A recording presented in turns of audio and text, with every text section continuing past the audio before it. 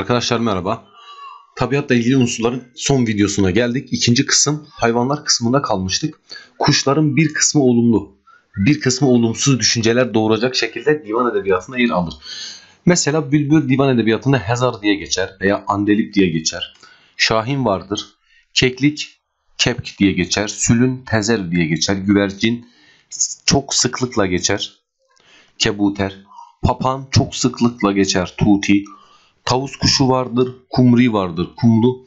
Bunlar ilk gruba yani olumlu düşüncelere yöneliktir. Akbaba, kerkes, baykuş yani bir güvercin kadar olması da sıklıkla geçer. Bum diye karga, gurap, zak, yarasa, huffaş, çaylak, zegan ise ikinci düşünceye, ikinci gruba yani olumsuz ifadelere yer verilir. Gülşeninde alemin, alemin bu sırra irmez hiç kes, zalar azade, vü bülbül, giriftarı kafes. Bülbül de var. Firaki. Bakın arslan sıklıkla geçer şir, gazanfer diye. Pelenk, kaplan diye. Bebir, pars. Ahu, gazel gibi olumlu düşünce doğuran hayvanların hayvanların yanı sıra çakal, tilki, fil, pil diye de geçebilir bazı durumlarda.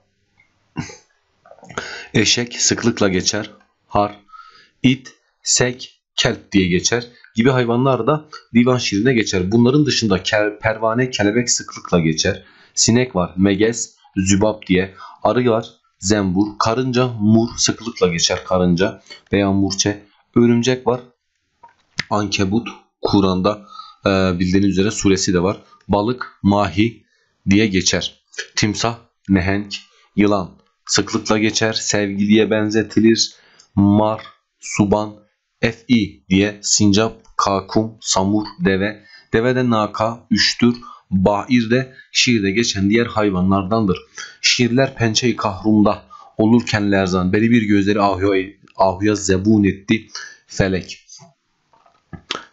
Yavuz Sultan Selim'e ait meşhur bir beyit. Bitkiler, ağaç, şecer, draht ve fidan, nahıl, nihal diye geçer. Divan şiirinde sıkça geçen kelimelerdendir. Şiirde ağaç türlerinden en fazla sevgilinin boyunun benzetildiği serviye, ayrıca çenar, arar, tuba, şimşat ve sanabere ee, bu çiçeklerden ise sevgili güle benzetilir. Gülün rengi, kokusu ve güzelliği ile diğer çiçekler arasında ayrı bir yeri vardır. Gül sevgilidir yahut sevgilinin ağzı, yanağı, kulağı gibi bir uzvudur.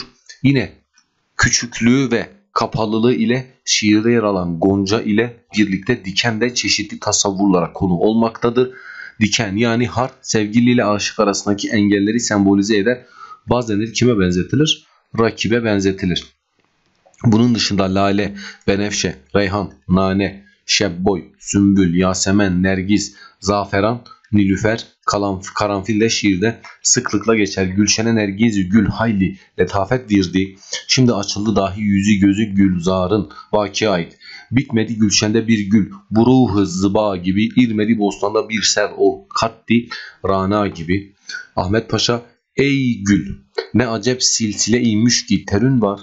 Wave, serv ne hoş can alıcı işvelerin var. Bu da Fuzuli'ye ait. Divan şiirinde meyvelerden ise ayva, elma, elmasip diye geçer. Nar, enar, rümman, şeftali, üzüm, engur, badem, badam, fıstık, piste gibi meyveler de çoğunlukla sevgilinin güzelliğini, özellikle yüzdeki güzelliğini ifadede yararlanılan unsurlar olarak şiirde yer alır. Bunu da burada bitirdik arkadaşlar.